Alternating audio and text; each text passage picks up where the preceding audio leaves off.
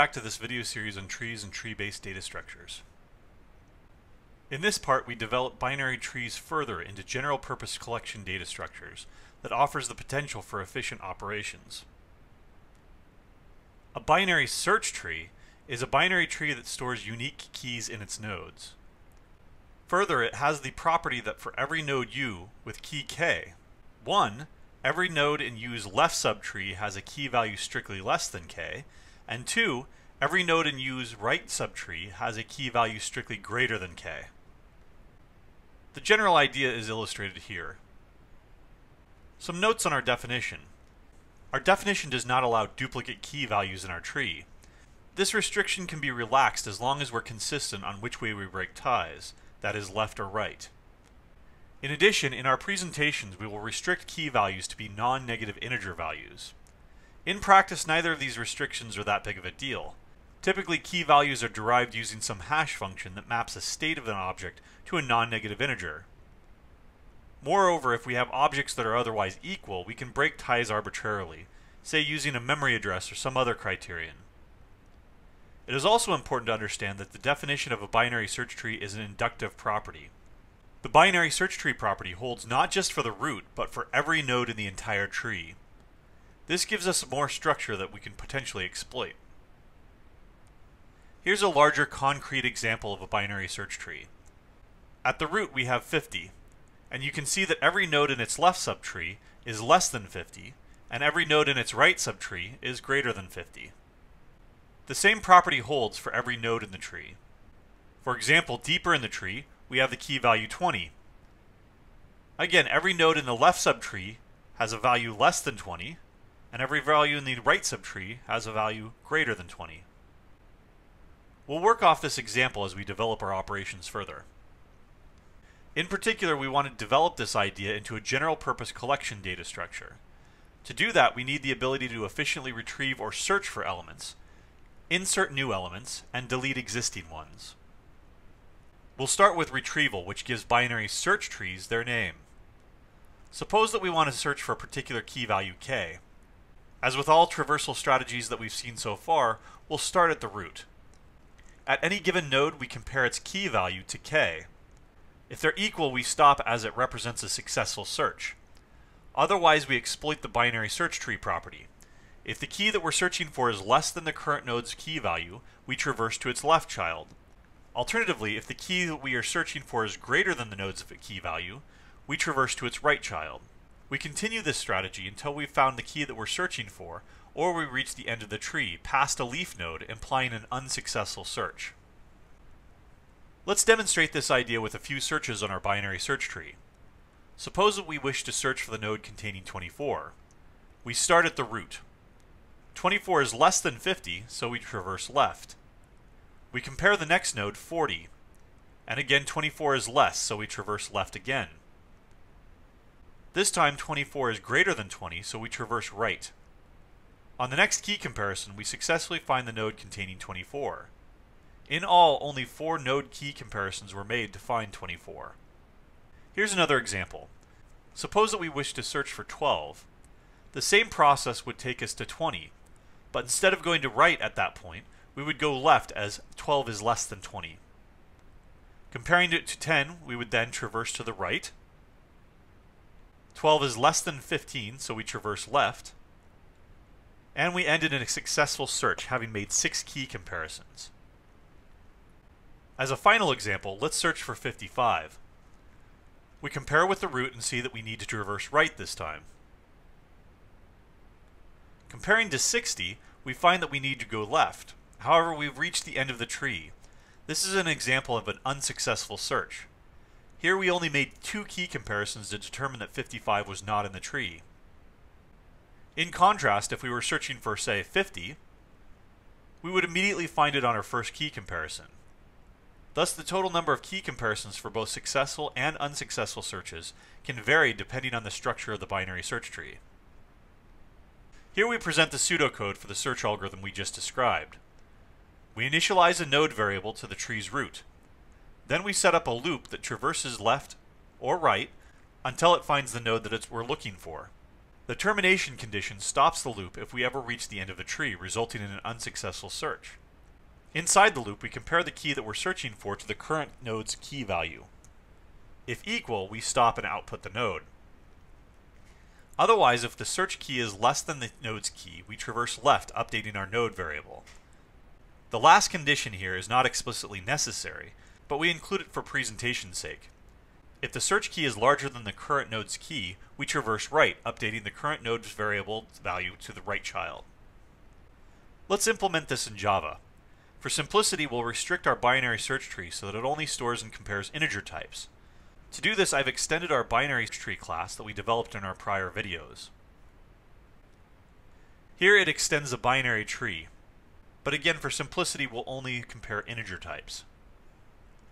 I've also modified the visibility of the root variable in the binary tree class so that we can access it in this class. First, we'll take a cue from our previous lessons and design and implement a general purpose method that searches for and returns a tree node containing a given key value. We'll make the method private as we don't want our code outside the class direct access to the tree nodes.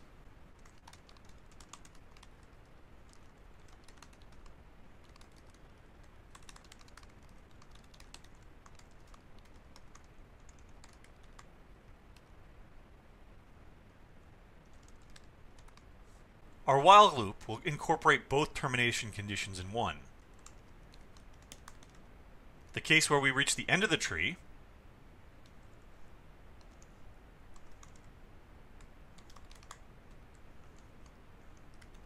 and the case where we find the node that we're looking for.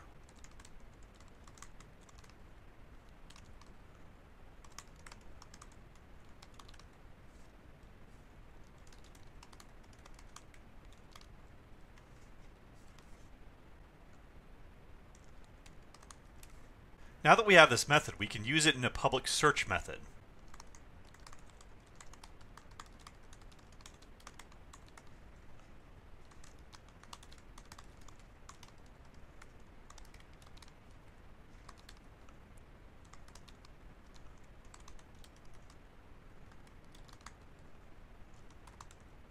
You may notice that this method is somewhat useless.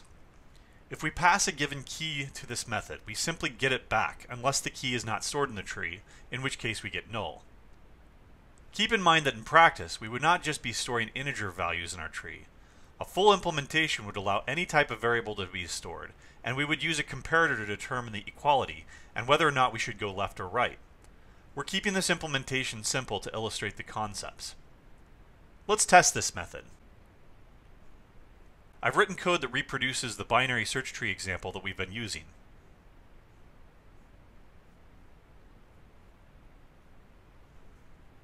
Let's search for nodes 12, 24, and 55 and see the results.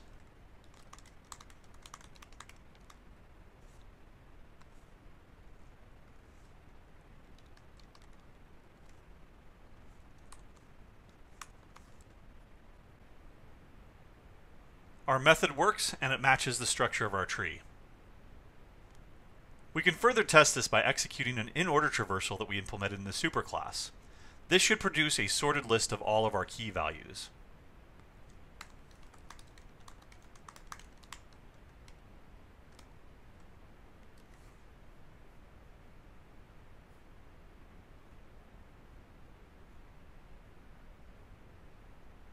And it works. And now for our analysis. The elementary operation here is simply the key comparison. In our actual code, we compare for equality and then inequality if we need to traverse left or right. However, it's generally better to analyze algorithms with respect to a single comparison. That is, these two comparisons can be treated as one. This is because in practice we would be using a comparator that returns 0, a negative value, or positive value, depending on the relative ordering of the node keys. We would use this value to determine which actions to take, but ultimately, we would be making a single call to the comparator method. As we saw with the examples, the complexity for a search depends on the structure of the tree. Some searches require fewer comparisons, while others require more. In the best case, we could get away with a single comparison if we got lucky and found our node at the root. However, in general, the worst case, and in fact the average case, we would need to explore to the deepest parts of the tree, in general, we may need to make d comparisons where d is the depth of the tree. Thus the complexity can be characterized as order d rather than in terms of the number of nodes of the tree. We'll return to this idea after we've looked at the other operations. The next operation is inserting a new node. The first step is to simply find where the new node should be. For that, we simply reuse the same basic search algorithm that we just developed. If we find that the key value is already in the tree, we can reject it either through a no-op, throwing an exception, or returning a flag variable. Otherwise, we'll insert it. The key difference is that in addition to traversing nodes, we'll keep track of a previous node. That way, when we reach the end of the tree, we'll still have a reference to the previous node, which will become the parent of the new node. To finish it out, we create a new node and add it as either the left child or the right child of the previous node. We leave developing the pseudocode as an exercise, however we will demonstrate an implementation for insertion in our Java binary search tree. I've already provided a method signature. We'll use the return value to indicate whether or not the operation had an effect. If the key is already in the tree, we do nothing, but communicate this with a false value.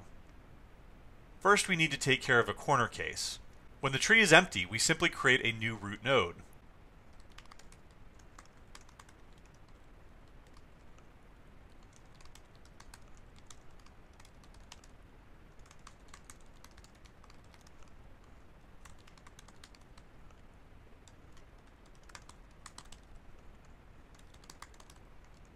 We return true to indicate that it had an effect. Now let's rewrite our searching algorithm, but also keep track of a previous node. We'll also stop and return false if we ever encounter a duplicate.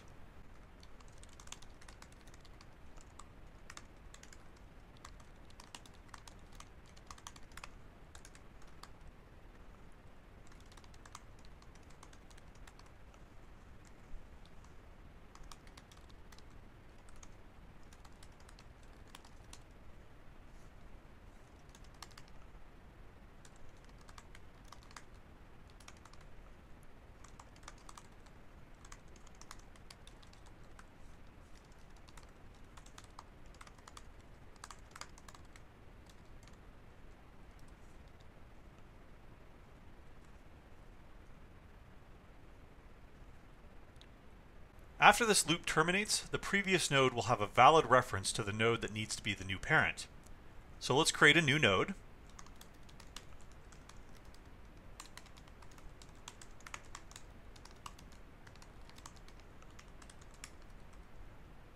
and set its parent to the previous node. Now we need to add it as either the left child or the right child, so we do one more comparison.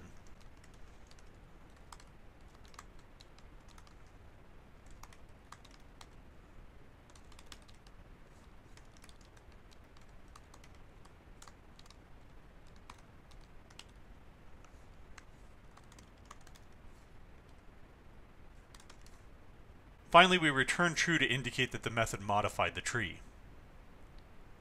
Let's test this by inserting 55 and then searching for it.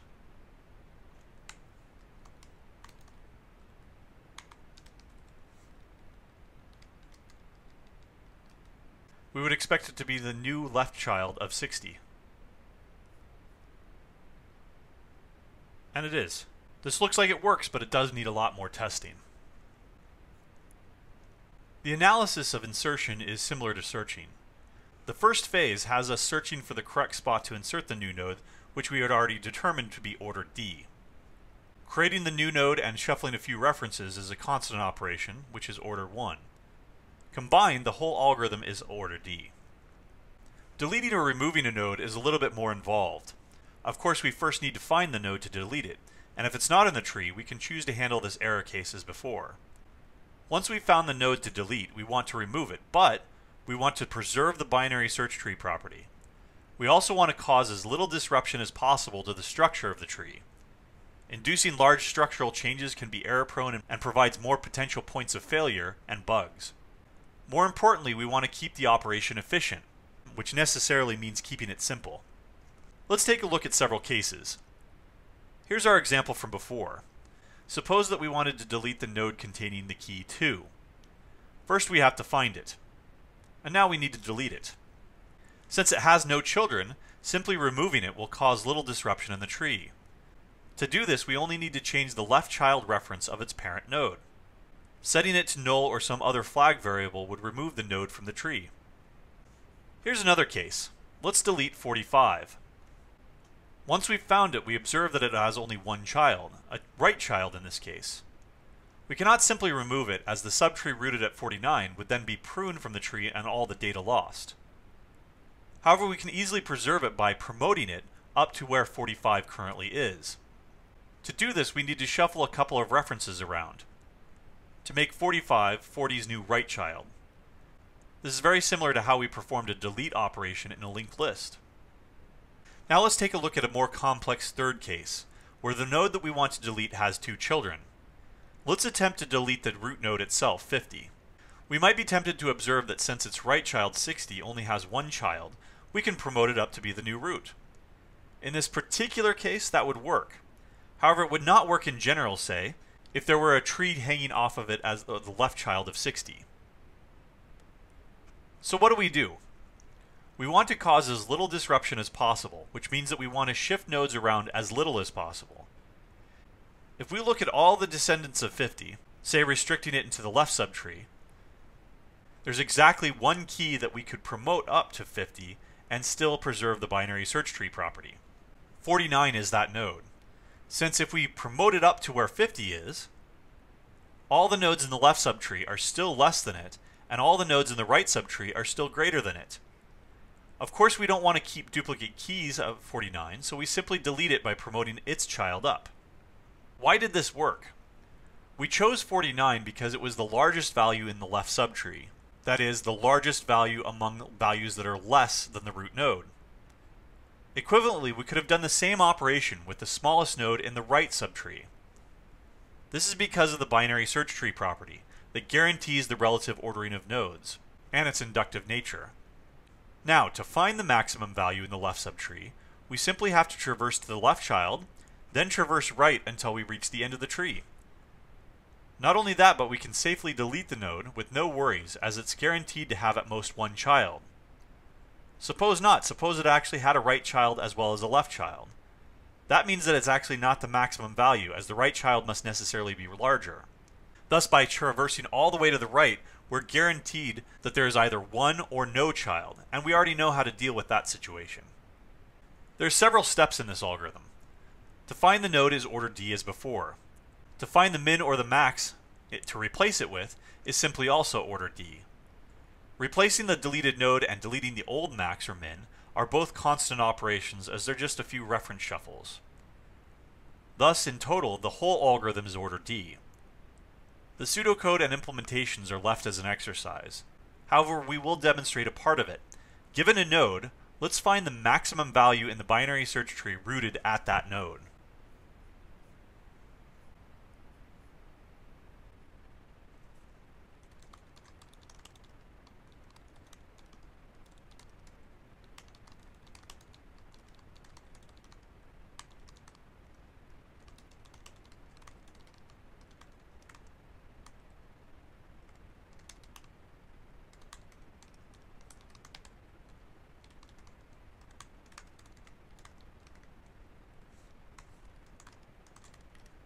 Basic idea is that we start at R. While our current node still has a right child, we traverse to it. In the end, we return the rightmost child rooted at R. Let's quickly test this.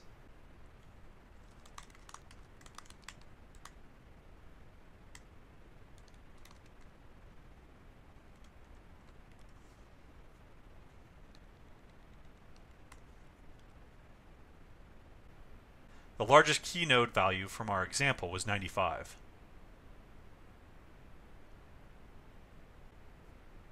For all three operations, the elementary operations were key comparisons. All three were proportional to the depth of the tree, giving us order D.